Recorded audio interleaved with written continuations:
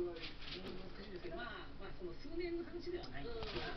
数年の話をすれば、あの日銀が1000兆円あって、400兆円日銀が持ってるんですよ、で日銀がかあった時に、じゃあ、のもしね、普通がお金借りてたら、あ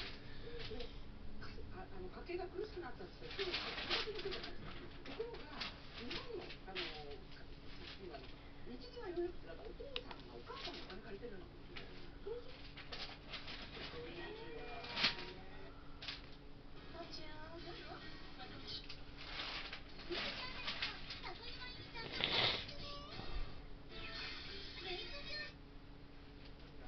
必要なんですが。